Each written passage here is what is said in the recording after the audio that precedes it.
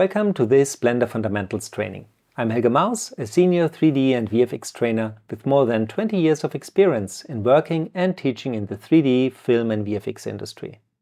With my company Pixeltrain 3D VFX Animation, I deliver on-site and online training for different kinds of industries and artists.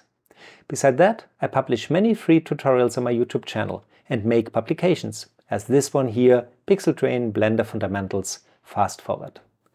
I'm taking you through the complete fundamentals of Blender and the basic workflows you need to know to get started with this amazing free software.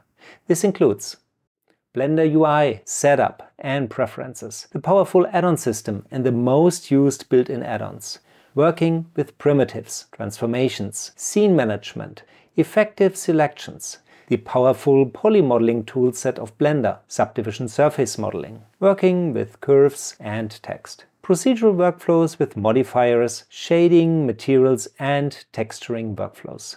The node-based shader editor and PBR setups, lighting your scene with lights, sky models and HDRIs, physical cameras and camera effects like depth of field. And then we are making our final renders.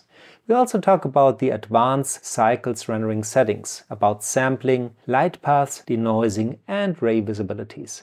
And then we close by finalizing our renderings with world atmospheres and volumes. The focus of this publication is not building a fancy, eye-catching example scene. It's concepted more as a step-by-step, -step, logical learning curriculum with deep explanations of concepts, workflows and tool options. The lessons are packed with information and are meant to watch them several times Make your own experiments and come back later when you are working on your own projects and need some refreshing of several topics.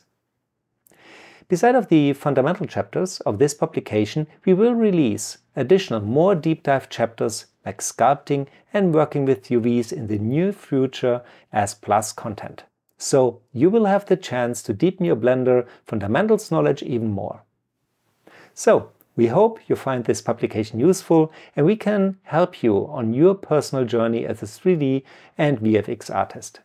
If you have any problems or questions, please contact us. And now, have fun, let's get started.